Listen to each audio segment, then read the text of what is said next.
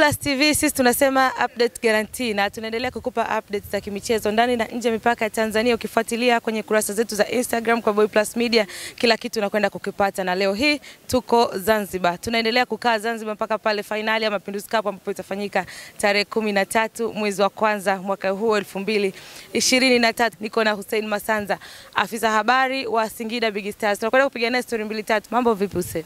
Safi, mambo Boy Plus, Boy, Boy Plus TV. Mambo vipi? Refresh. Karibuni tena. Mbona enjoy sana?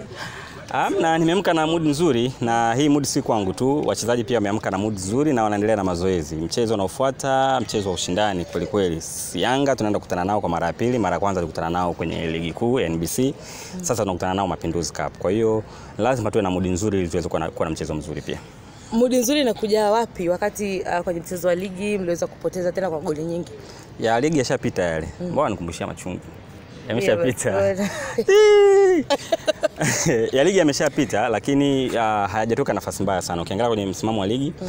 bado tupo kwenye nafasi za juu, tupo nafasi ya nne, kwa hiyo bado tunaishi ndani ya malengo yetu, lakini mchezo wa huku ni tofauti kidogo. Huku ni lazima tufanye vizuri tuweze kusonga mbele, kwa sababu ukiangalia ni Mapinduzi Cup. Uh, ni ukikaa vibaya unatoka haraka, kwa hiyo lazima tuwe na mood nzuri, lazima tujiandae vizuri, tuwe na attitude ambayo iko sawa, ili tukienda kwenye mchezo basi tuwe, tuwe na mchezo mzuri na tupate matokeo. Kitu gani ambacho mmekipata baada ya matokeo ya jana kwa timu zinazotoka bara? Azam FC akidraw, uh, Simba Sport akipoteza mchezo, na nyie mchezo wa kwanza mmeshinda, mnaelekea kwenye mchezo wa pili. Kwanza mchezo ambao tumeshinda dhidi ya KMKM umetoka kwenye nafasi nzuri, na kiukweli kiukweli ukiangalia Mapinduzi Cup safari hii uh, mwaka huu 2023 uh, kidogo kuna, kuna, kuna utofauti, ushindani uko, uko mkubwa sana sana sana. Kwa hiyo tunajifunza kuona kwamba tusidharau tusidharau mashindano yoyote. Uh, kama kuna timu ambayo imekuja ikichukulia mashindano haya ni madogo, basi nadhani wameona wameona mambo ambavyo yanaenda sasa hivi. Uh, umesema pa Simba wamefanya vibaya, wametoka, nadhani walizidiwa walizidiwa na, na maandalizi ya ya Mlandege, lakini Azam pia wamepata sare. Sasa si matokeo mazuri kwa timu ambazo tunaamini ni timu ambazo zina ushindani wa hali ya juu, zina usajili mkubwa, zina maandalizi mazuri. Kwa hiyo sisi imetupa kama kama wake up call kwamba jamani, haya ni mashindano na mashindano wa kila timu inakuja kushindana. So timu yetu imekuja kushindana na tunamshukuru Mwenyezi Mungu, tumeanza vizuri mwaka. Mchezo wetu wa kwanza tumepata magoli mawili, alama tatu. Tunachohitaji sasa hivi kilichobaki ni kupata alama moja tu ili tuweze kwenda katika hatua inayofuata ya nusu finali. Unaiona nafasi yenu ya kupata alama moja na mchezo unaofuata unakwenda kucheza dhidi ya Young Africans? Yeah, definitely tunaweza tukapata, kwa sababu tunafanya maandalizi, tunajiandaa, tunafahamu umuhimu wa mechi hii, tunafahamu ubora wa, wa, wa timu ya Yanga. Kwa hiyo tunaenda kucheza kwa tahadhari na tunaamini tutakuwa na mchezo mzuri na tutapata matokeo. Kama si kupata alama zote tatu kwa maana ya ushindi, basi si haba, tunaweza tukapata alama moja ambayo tunahitaji. Wengi wamekuwa wakiangalia ratiba ya michuano hii ya kombe la mapinduzi kwa msimu huu wakisema sio rafiki kwa upande kwa upande wenu. Sasa kwa maoni ya kocha pia? Si rafiki kivipi? unapumzika siku moja, siku nafuata nacheza, kuangalia ratiba za nyuma. Ah, un- sisi tumeshajiandaa kusema kweli, kisaikolojia tumejiandaa kwamba tunaenda kushindana. Kwa hiyo tukipata muda wa kupumzika masaa 24 masaa 48 yanatutosha kwa sababu tumekuja na timu nzima. Tofauti nafikiri tofauti na timu nyingine, Singida Big Stars tumekuja na kikosi kamili. Kama imekosekana mchezaji mmoja- au wawili na huyu ambaye amepata amepata injury juzi goalkeeper wetu Komein. Lakini ukiangalia waliobaki nadhani mmeona kikosi hapa ni wachezaji karibia wote wamekuja hapa. Kwa ratiba haitubani ni, ni, ni, ni kazi ya kocha sasa kuamua, sababu ana kikosi kipana, kipo hapa, kikosi kimekamilika, kwa ataangalia ratiba zinavyoenda, kama apange vipi. Ana, uhuru wa kuchagua kwa sababu tayari ana wachezaji wengi ambao wako hapa kwa ajili ya kucheza. Kitu gani kimemkuta ametacha Boniface Mnata hadi kushindwa kujiunga na wenzake katika mashindano hayo?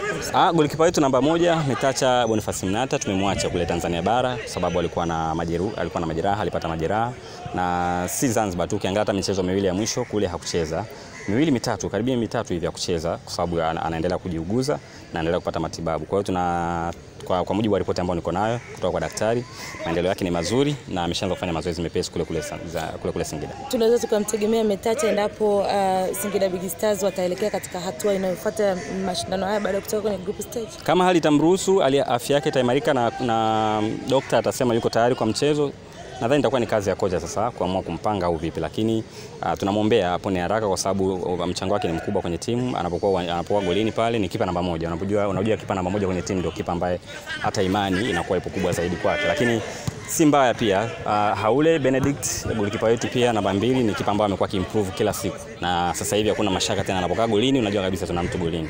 Umemwona kwenye mechi ya juzi hapa amecheza vizuri, pamoja na mechi ambazo zimepita. Kwa hiyo tunamwombea ametacha apone, apone haraka aje, aje kujiunga na timu, kwa sababu tunahitaji timu ikiwa kamili. Tunahitaji timu kwa, unajua timu ni kama kama nani vile, jina moja likipungua tayari unaonekana kabisa kuna, kuna tatizo. So tunatamani timu iwe full ili tuwe na confidence uh, 100%.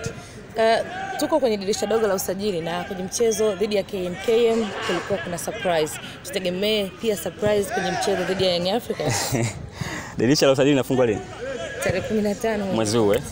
Basi sisi tunaendelea na kufanya kile ambacho tunataka kufanya mpaka pale dirisha itakapofungwa. Tuliwaambia mashabiki wetu uh, safari hii sisi tunakuja kufanya tofauti kidogo na ambavyo imezoeleka. Imezoeleka kwamba tunatambulisha mchezaji anakuja kucheza. Sisi style yetu sasa hivi ni mchezaji anacheza ndo anaonekana kwamba hey, kuna, kuna usajili wa namna hii. Tumefanya hivyo kwenye mechi zilizopita, Mbeya City, tulifanya Dodoma Jiji, tulifanya kwenye Geita, watu waliona wachezaji wapya kina Kibabage, kina Ibrahim Majib na wakina Kagoma hawa wakina nani watarajie kuendelea kuwaona zaidi kwenye mechi ya kesho kutwa dhidi ya Yanga. Nadhani kiufundi pia anamsaidia hata kocha. Uh, unajua hizi mechi hizi mnapokuwa mnapanga kucheza na wapinzani wenu pia wanapanga, wanasoma kikosi, wanasoma mchezo, wanaingiza timu uwanjani. Kwa hiyo inawezekana pia hii kuleta mchezaji siku ya mechi ikawavuruga wapinzani na ikawa ni advantage kwa benchi la ufundi na kwa timu kwa ujumla. Kwa hiyo inaweza ikasaidia na tunaamini inasaidia kwa sababu wachezaji ambao tumewachukua tumefanya usajili ambao ni wenye tija. Bahati nzuri katika timu ambazo zinapongezwa kwenye eneo la usajili ni timu yetu ya Singida Big Stars. Hatujawahi kuwa disappoint watu kwenye, wachi, kwenye, kwenye usajili wa wachezaji.